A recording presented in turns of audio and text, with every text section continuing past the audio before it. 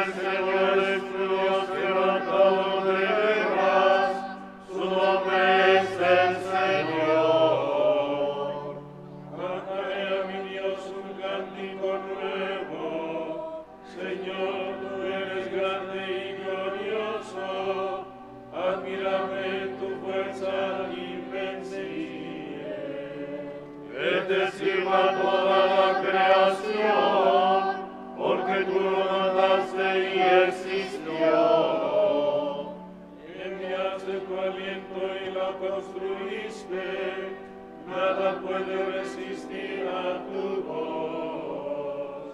Sacudirán las olas los cimientos de los montes, las peñas en tu presencia se derretirán como será, pero tú serás propicio a tus fieles.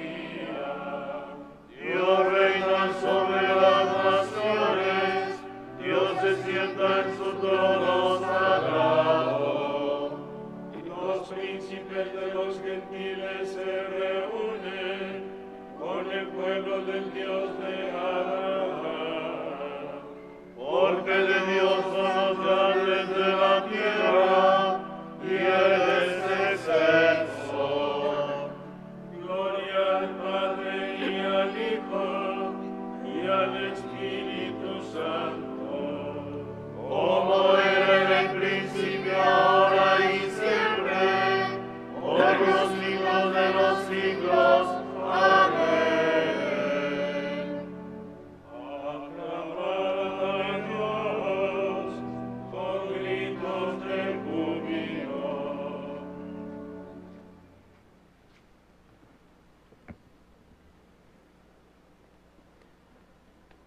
No hagas a nadie lo que no quieras que te hagan. Da de tu pan al hambriento y da tus vestidos al desnudo. Busca el consejo de los prudentes. Bendice al Señor en toda circunstancia. Pídele que sean rectos todos tus caminos y que lleguen a buen fin todas tus sendas y proyectos.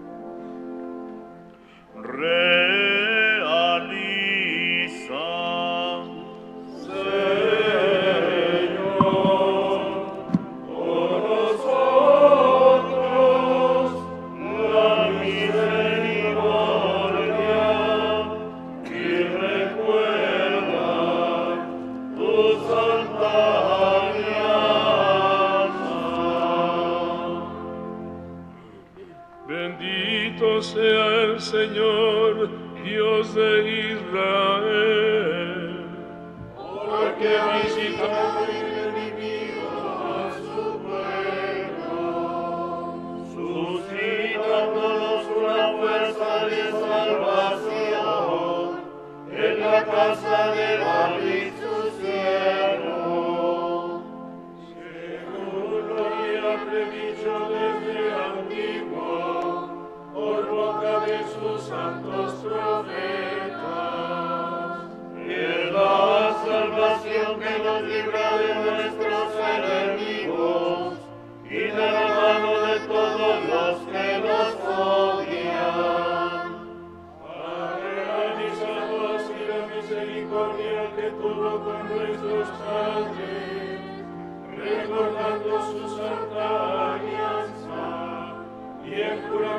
che vorrà tra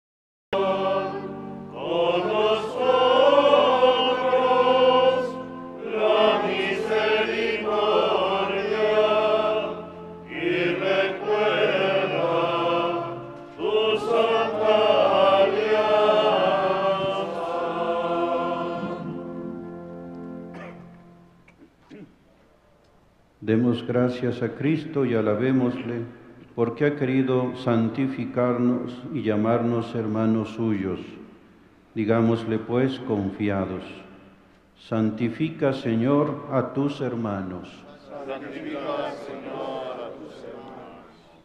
Concédenos, Señor, consagrar el principio de este día en honor de tu resurrección y haz que todos los trabajos que realicemos durante esta jornada te sean agradables. Santifica Señor a tus hermanos. Haz que sepamos descubrirte a ti en todos nuestros hermanos, sobre todo en los tristes, en los, men- en los más pobres y en los que son menos útiles a los ojos del mundo. Santifica Señor a tus hermanos. Tú que para aumentar nuestra alegría y afianzar nuestra salvación nos das el nuevo día, signo de tu amor, renuévanos hoy y siempre para gloria de tu nombre. Haz que durante este día estemos en paz con todo el mundo y que a nadie devolvamos mal por mal. Santifica, Señor, a tus hermanos. Tal como Cristo nos enseñó, terminemos nuestra oración cantando.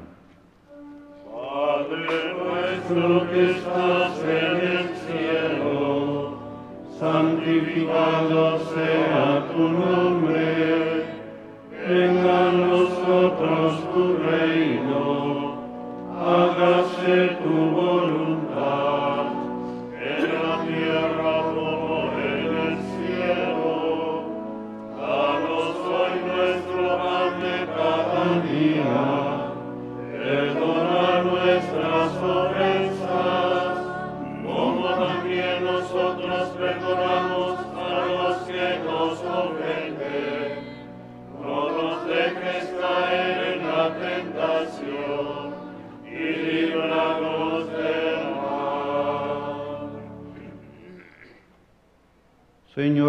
Salvador nuestro, danos tu ayuda para que siempre deseemos las obras de la luz y realicemos la verdad, Así los que de ti hemos nacido en el bautismo, seremos testigos ante los hombres por nuestro Señor Jesucristo, tu Hijo, que contigo vive y reina en la unidad del Espíritu Santo y es Dios por los siglos de los siglos. El Señor esté con ustedes. Y con tu espíritu. Que los bendiga Dios Todopoderoso, Padre, Hijo y Espíritu Santo.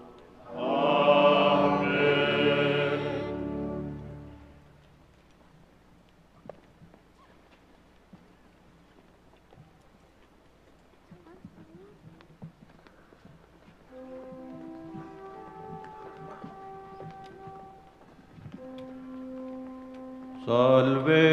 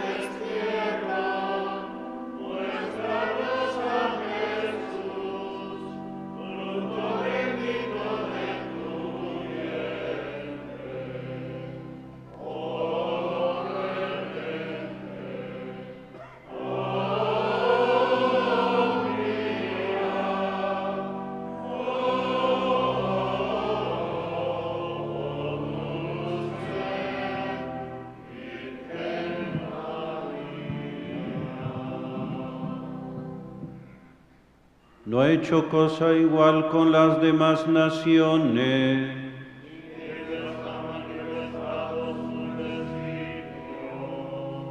Oremos, Padre de misericordia, que has puesto a estos pueblos tuyos bajo la especial protección de la siempre Virgen María de Guadalupe, Madre de tu Hijo, concédenos por su intercesión profundizar en nuestra fe y buscar el progreso de América por caminos de justicia y de paz.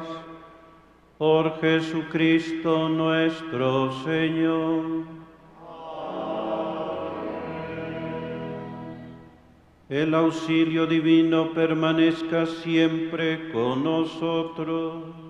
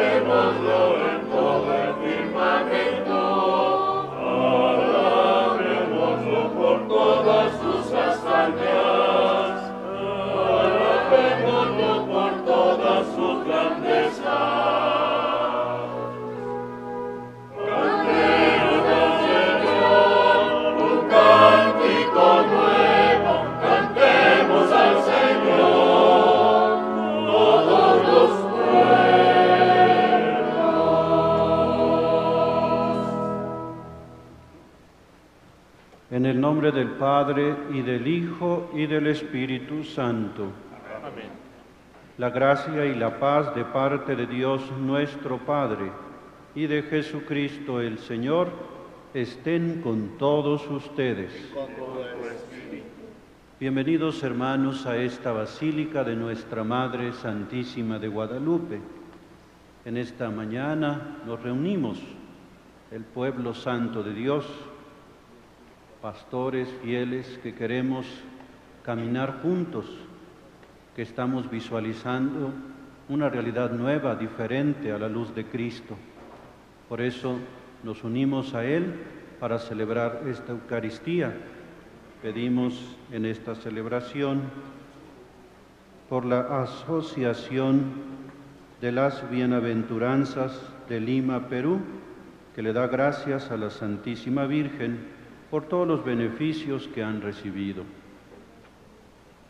Y para celebrar dignamente los sagrados misterios, reconocemos nuestros pecados.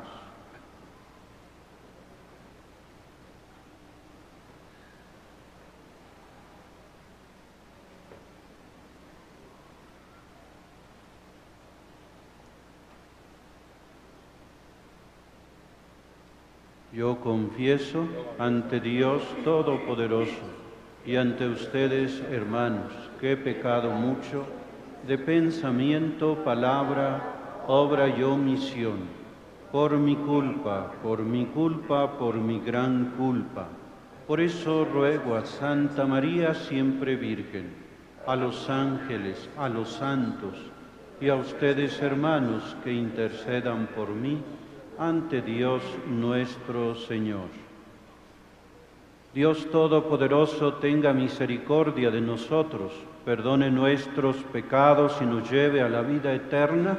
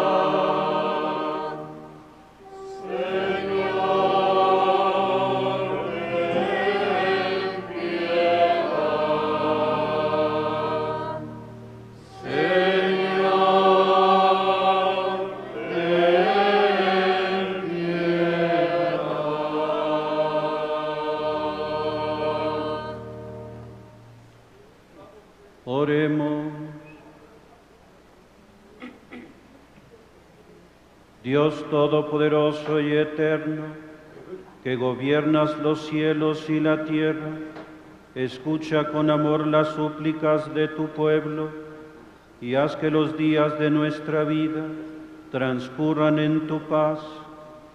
Por nuestro Señor Jesucristo, tu Hijo, que vive y reina contigo en la unidad del Espíritu Santo, y es Dios por los siglos de los siglos.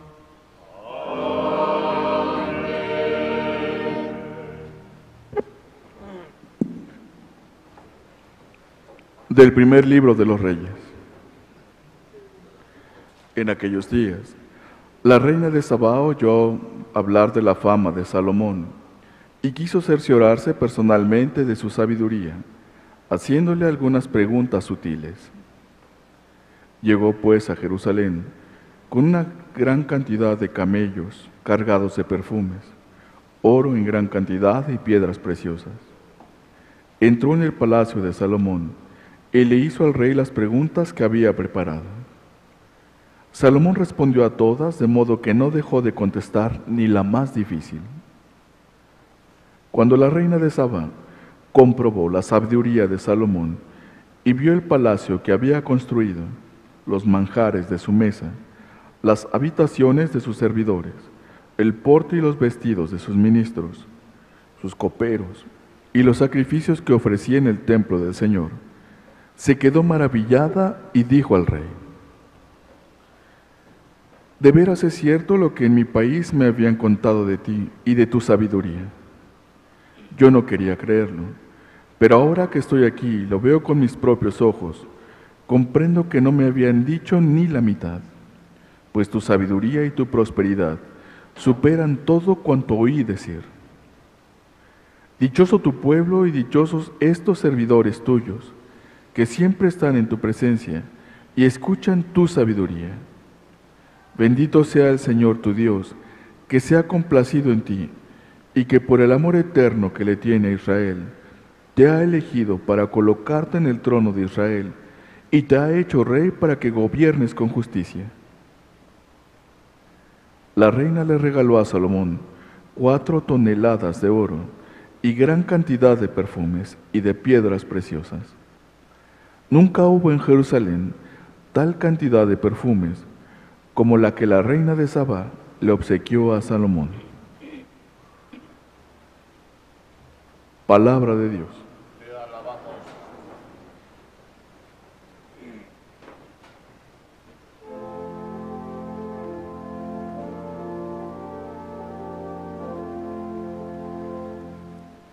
Rectas y sabias son las palabras del justo.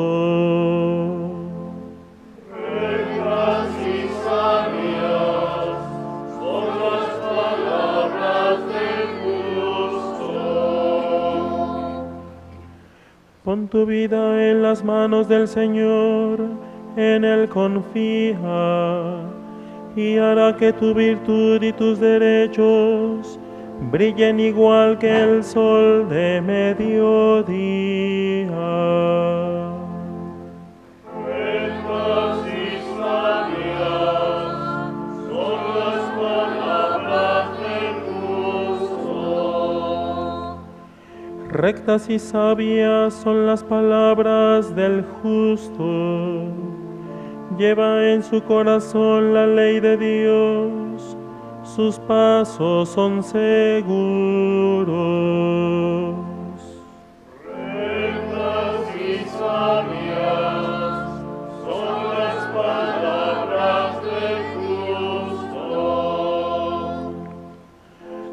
La salvación del justo es el Señor. En la tribulación Él es su amparo. A quien en Él confía, Dios lo salva de los hombres malvados.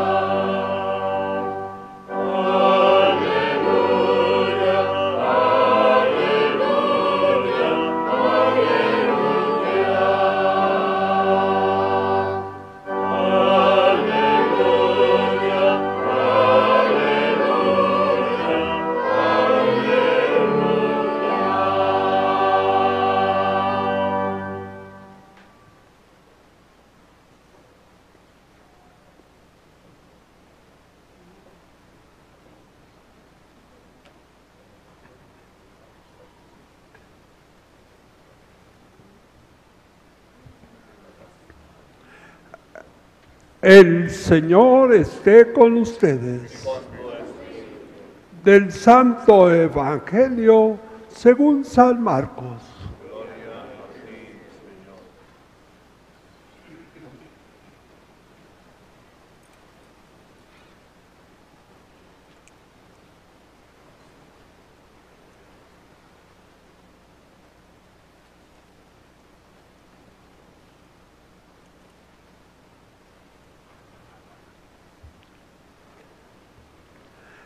En aquel tiempo Jesús llamó de nuevo a la gente y les dijo, escúchenme todos y entiéndanme.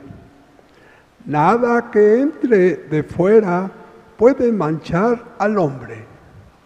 Lo que sí lo mancha es lo que sale de dentro.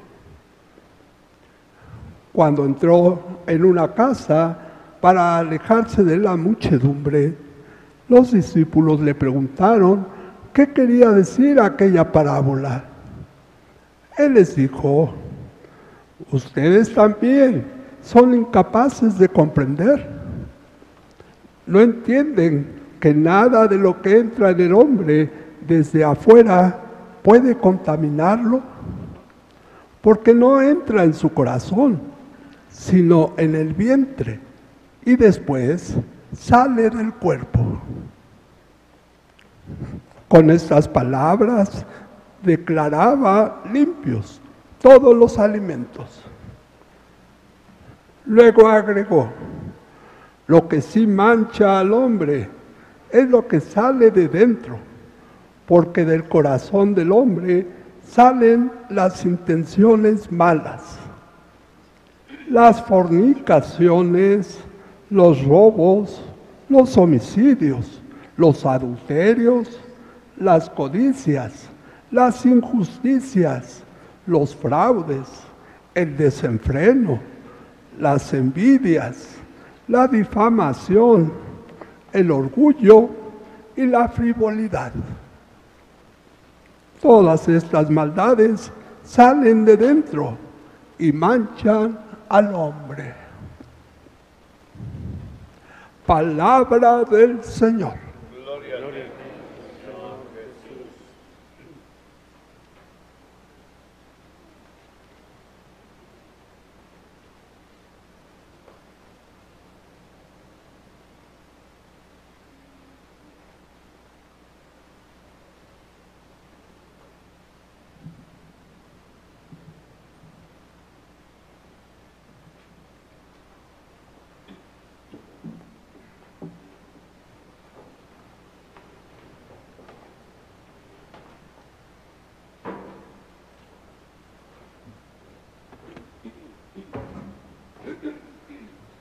La sabiduría es un patrimonio de todas las culturas, tanto antiguas como actuales, de toda la humanidad.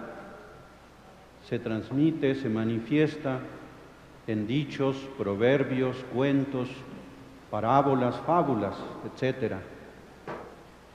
En el Medio Oriente fue muy cultivada y apreciada en las diferentes etapas de su historia. Nuestro Señor Jesucristo utilizó estos medios para el anuncio del reino de los cielos y para sus enseñanzas religiosas y morales.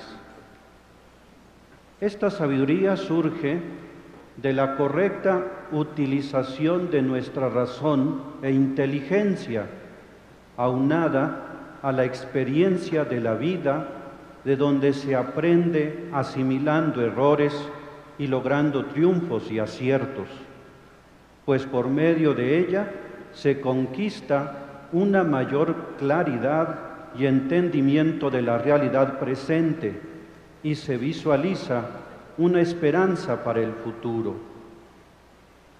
lo cual implica la contemplación de la naturaleza, la observación de las actitudes de todos los seres vivos y las respuestas que los humanos tenemos ante los estímulos externos de la realidad. Ahí se pone en juego nuestra capacidad de reflexión, discernimiento y buen juicio. Obviamente, no se trata solo de aprender o entender, sino de actuar, hacer las cosas con acierto, saber vivir la vida correctamente. Por eso lleva una connotación moral y la práctica de la prudencia en las decisiones. Una persona sabia sabe resolver los problemas de la vida con tranquilidad y evita los peligros frecuentes que conllevan todas las acciones humanas. Las personas imprudentes fácilmente caen en tonterías, necedades y errores. Con frecuencia culpan a los otros de sus malas decisiones y del fracaso de sus actitudes. No aprenden de los errores. Las Sagradas Escrituras no solo consideran la sabiduría como una cualidad o virtud humana, sino un don de Dios, quien es sabio por excelencia. Su palabra es fuente del verdadero conocimiento y camino de vida en plenitud. Su obra creada manifiesta la sabiduría divina y es su espíritu la fuente de esta gracia. Salomón es sabio porque pidió este regalo al Señor y así adquirió la destreza para gobernar con maestría, guiar a su pueblo con visión clara y progresiva, así como lo hizo en otro tiempo el patriarca José, Moisés y su padre David. Se nos presenta como el ideal de todo gobernante. Por eso mientras se deja guiar por la sabiduría divina, obtuvo grandes logros, rigió rectamente, construyó su reino y la ciudad con una pericia excepcional y un magnífico templo para el Señor, bellamente decorado y ornamentado. Su fama se extendió hacia otros reinos, como hoy hemos escuchado la reina de Sabá, oyó hablar de la fama de Salomón y quiso cerciorarse personalmente de su sabiduría. Porque ese es el resultado de la escucha de la palabra de Dios y de la oración cotidiana. Un hombre guiado por el poder del Espíritu Santo llama la atención y nunca cansa su enseñanza. Toda su vida y su palabra transmite confianza y bienestar. Dichoso tu pueblo y dichosos estos servidores tuyos que siempre están en tu presencia y escuchan tu sabiduría, dice aquella distinguida visitante de Salomón.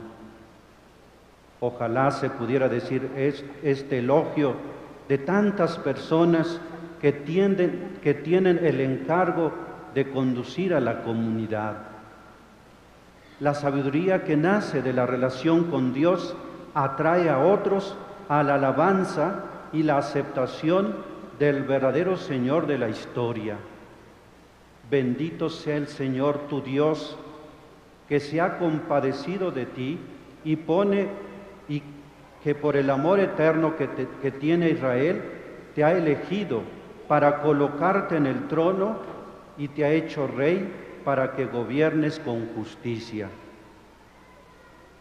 Como vemos, este don del Espíritu solo se aprovecha desde la experiencia de una profunda vida interior, de una actitud contemplativa, pues cuando nos volcamos hacia- el exterior de manera exagerada, comenzamos a distorsionar la realidad, esta maravillosa obra de la creación de Dios, y la evaluamos con criterios meramente utilitaristas.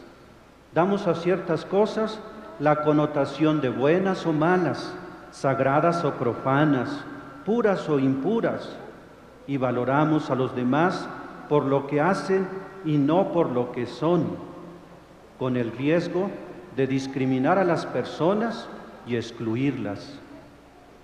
Salomón, cuando se dejó influ- influenciar por las costumbres de sus vecinos paganos y escuchó la voz de personas mal inten- intencionadas, desoyó la palabra de Dios y su reino se derrumbó. Los jefes religiosos del tiempo de Jesús, cuando tergiversaron la ley de Dios y sobrevaloraron las costumbres externas, se volvieron inhumanos e hicieron una religión desencarnada de la realidad.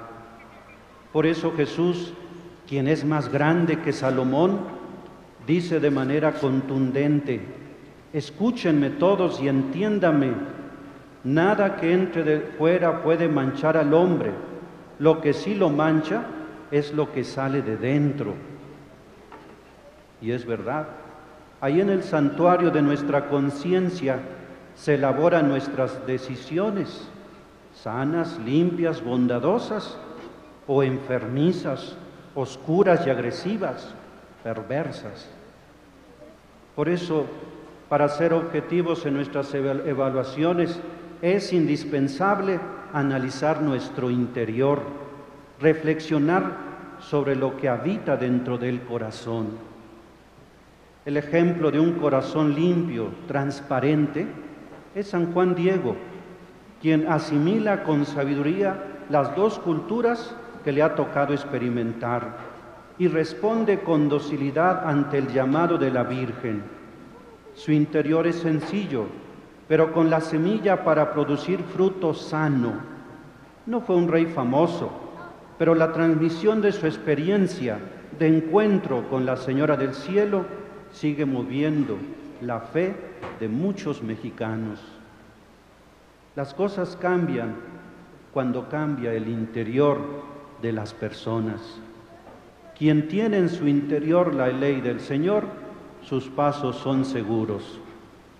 Así pues, pon tu vida en las manos del Señor, en Él confía y hará que tu virtud y tus derechos brillen igual que el sol en mediodía.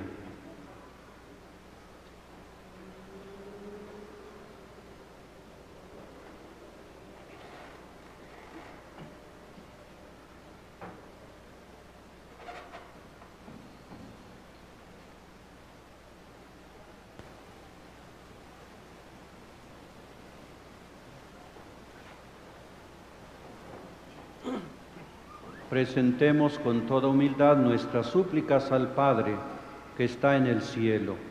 Después de cada petición vamos a decir, Padre bueno, escúchanos. Padre bueno, escúchanos. Para que el Señor conceda la unidad a los cristianos, oremos. Padre bueno, escúchanos. Para que desaparezca el odio en el mundo, oremos. Padre bueno, escúchanos. Para que el Señor fortalezca a los débiles y alivie a los ancianos, oremos. Para que admita a nuestros difuntos en la asamblea de los santos, oremos. Padre bueno, escúchanos. para que nuestro trabajo de hoy sea provechoso a nuestros hermanos. Oremos. Por la asociación de las bienaventuranzas de Lima, Perú, en acción de gracias a la Santísima Virgen. Oremos.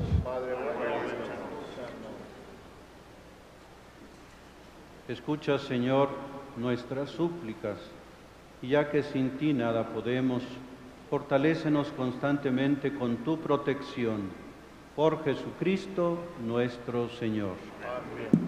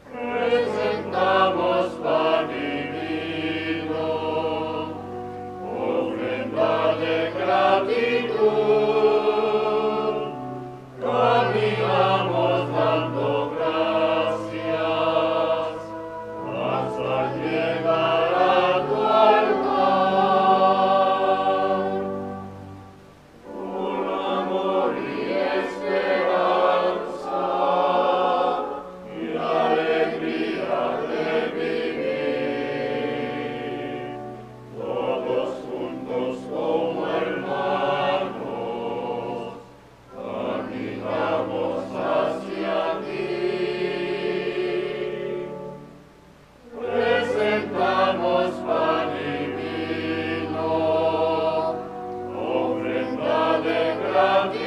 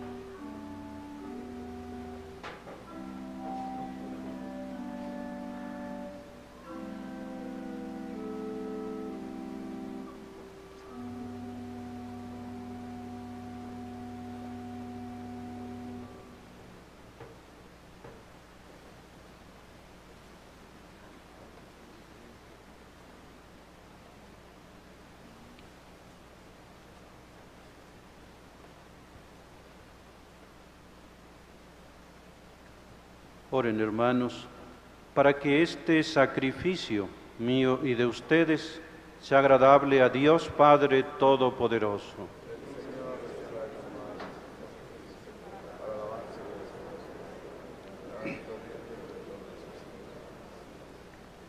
Concédenos, Señor, participar dignamente en estos misterios, porque cada vez que se celebra el memorial de este sacrificio, se realiza la obra de nuestra redención. Por Jesucristo nuestro Señor. El Señor esté con ustedes. Levantemos el corazón. Demos gracias al Señor nuestro Dios. En verdad es justo y necesario, es nuestro deber y salvación darte gracias siempre y en todo lugar, Señor Padre Santo, Dios Todopoderoso y Eterno, por Cristo Señor nuestro, cuya muerte celebramos unidos en caridad, cuya resurrección proclamamos con viva fe y cuyo advenimiento glorioso aguardamos con firmísima esperanza. Por eso, con todos los ángeles y santos, te alabamos proclamando sin cesar.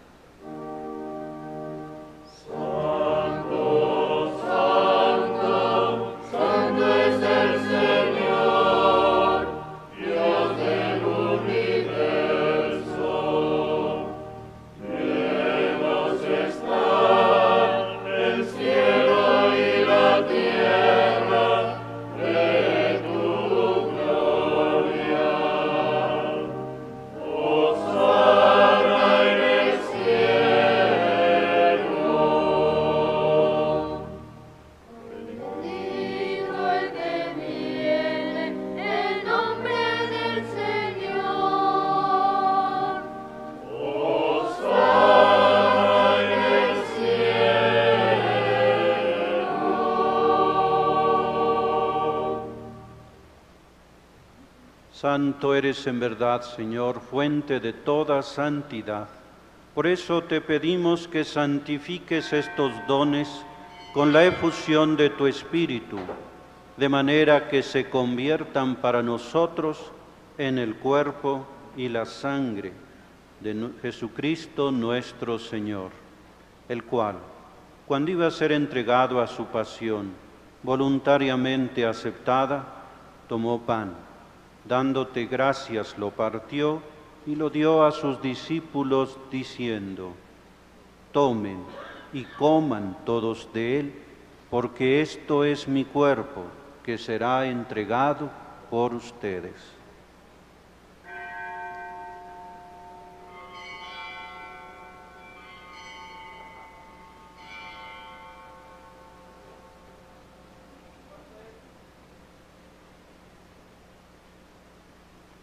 Del mismo modo, acabada la cena, tomó el cáliz y dándote gracias de nuevo lo pasó a sus discípulos diciendo, tomen y beban todos de él, porque este es el cáliz de mi sangre, sangre de la alianza nueva y eterna, que será derramada por ustedes y por muchos para el perdón de los pecados.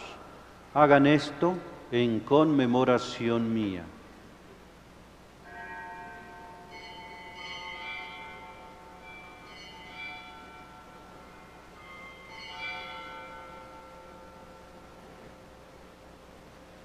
Este es el sacramento de nuestra fe.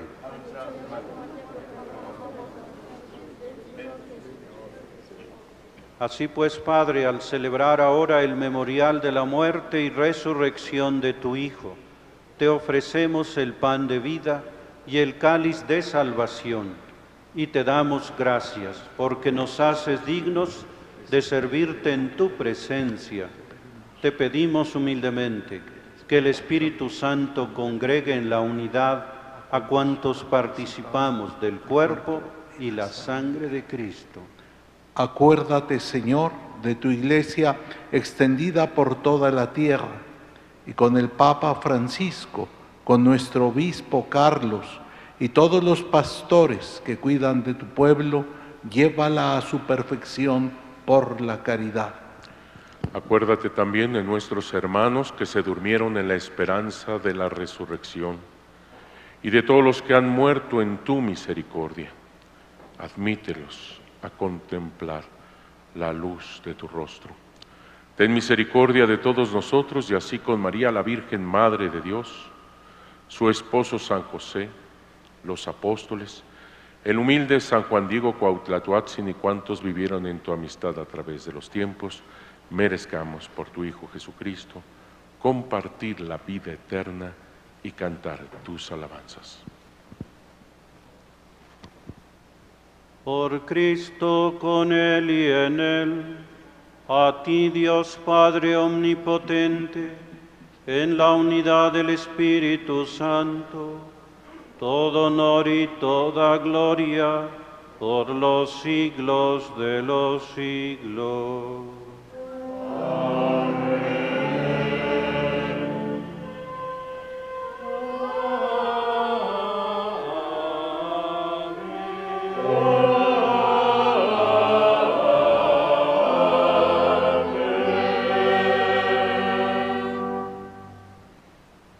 De alegría porque somos hijos de Dios, digamos confiadamente la oración que Cristo nos enseñó. Padre nuestro que estás en el cielo, santificado sea tu nombre, venga a nosotros tu reino, hágase tu voluntad en la tierra como en el cielo. Danos hoy nuestro pan de cada día, perdona nuestras ofensas, como también nosotros perdonamos a los que nos ofenden. No nos dejes caer en la tentación y líbranos del mal. Líbranos de todos los males, Señor, y concédenos la paz en nuestros días, para que, ayudados por tu misericordia, vivamos siempre libres de pecado y protegidos de toda perturbación, mientras esperamos la gloriosa venida nuestro Salvador Jesucristo.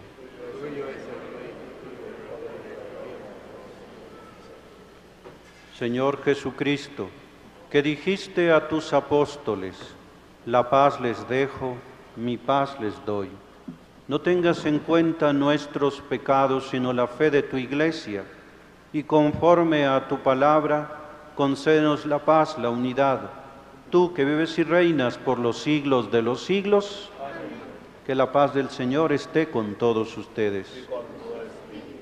Dense fraternalmente la paz.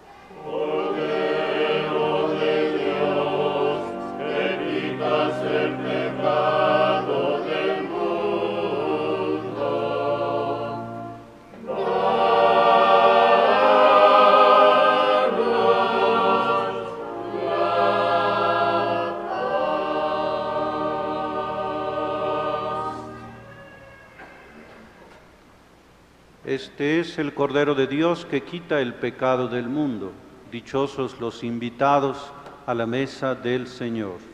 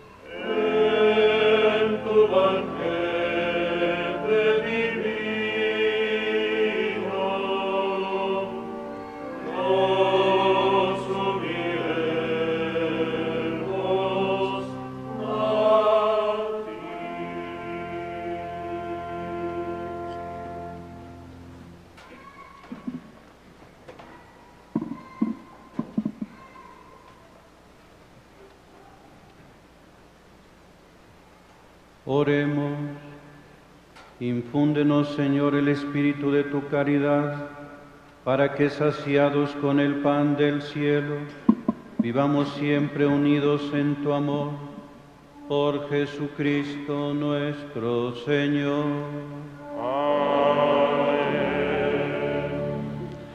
Hermanos míos, como siempre, esta invitación de parte del Venerable Cabildo al Rosario del Amor Guadalupano. Ya queda poco tiempo porque son los días 12, el lunes es día 12 de este mes, así que tenemos este Rosario del Amor Guadalupano. Como siempre, comenzamos en la explanada del Bautisterio a las 7 de la noche. Inviten a sus familiares y amigos. Y desde aquí le digo a todos los que nos están viendo por internet que recen donde se encuentren este rosario y nos unimos a las intenciones del Santo Padre. Que Dios los bendiga mucho. Con esta bendición final bendigo a todos ustedes, en especial a los niños, a los enfermos. También bendigo sus objetos religiosos, medallas, escapularios, imágenes que representan a nuestro Señor, a la Santísima Virgen o a los santos. El Señor esté con ustedes. Y con tu espíritu. Que los bendiga Dios Todopoderoso, Padre, Hijo y Espíritu Santo. Glorifiquen al Señor con su vida. Pueden ir en paz. Demos gracias a Dios. Que tengan buen día, bonito retorno a sus hogares.